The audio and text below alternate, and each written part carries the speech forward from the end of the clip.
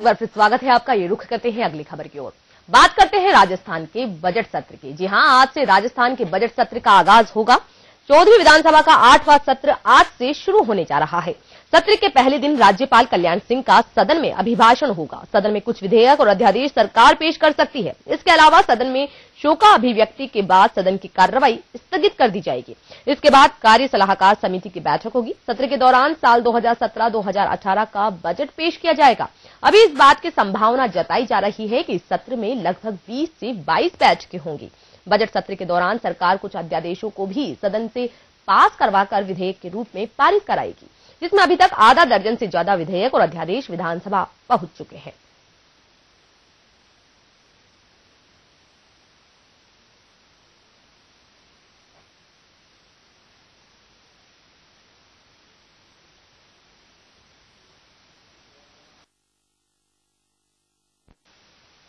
खबर पर अधिक जानकारी के लिए हमारे साथ हमारे संवाददाता विजय जुड़ चुके हैं। विजय, आपसे जानना चाहेंगे, राजस्थान विधानसभा के चौदहवीं विधानसभा के आठवां सत्र आज आयोजित होगा, शुरू होगा। इस पर क्या लगता है? काफ़ी हंगामेदार रहने की संभावना है। बिल्कुल जिस तरह का परंपरा बन चुकी है कि जो हंगामेदार सदन रहता है, उसी तरह आज भी जो आगाज़ होने जा रहा है, बजट सत्र का, और काफ़ी महत्वपूर्ण है, क्योंकि तीन साल का कार्यकाल भाजपा सरकार को हो चुका है, सत्तर और सरकार को तीन साल का कार्यकाल होने के साथ ही अब मुद्दों की बात की जाए तो विपक्ष के पास मुद्दे तो पहले भी थे लेकिन संख्या बल में कहीं ना कहीं जो कमी है वो उनको ज़रूर खलती है। लेकिन सबसे बड़ा सवाल है तीन साल के कार्यकाल में जो वादे और जो दावे किए थे सरकार ने वो धरातल पर कितने आए?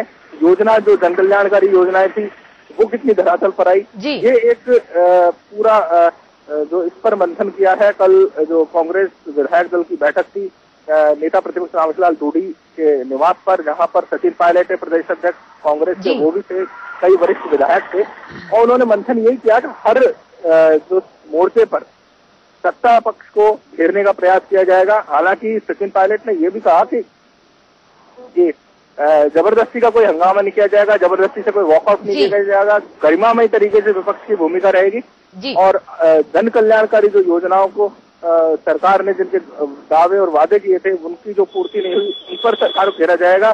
दलित के मुद्दों को ज्वलंत मुद्दों पर सरकार को घेरने का प्रयास किया जाएगा। खासतौर से बिजली पानी का जो मुद्दा है सड़क का मुद्दा है बीस हज़ार किलोमीटर सड़क बनाने का जो सरकार बनते ही दावा किया था मुख्यमंत्री ने पंद्रह लाख रोज़गार देने की जो घोषणा की थी इन तमाम मुद्दों को सरकार विपक्ष इस पर सरकार को घेरने का प्रयास किएगा। जी।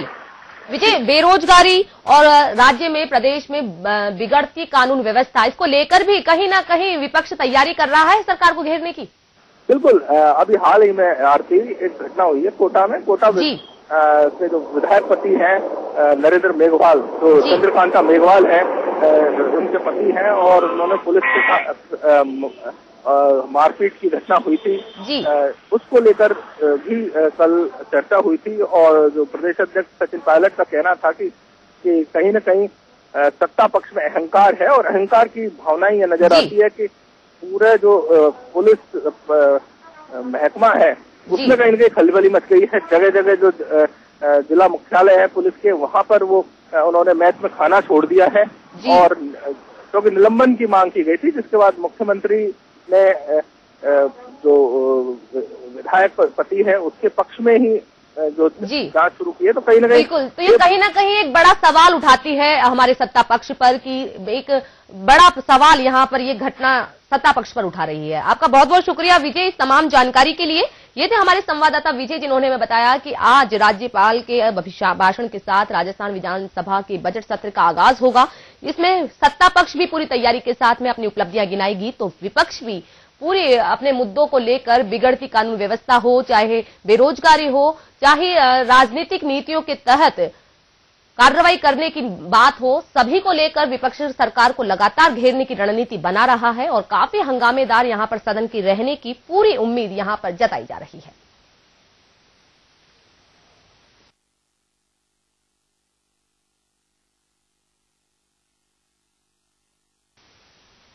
वहीं बात करते हैं, विधानसभा के बजट सत्र के शुरू होने पर सुरक्षा और सुरक्षा की पुख्ता तैयारियाँ और बंदोबस्त की।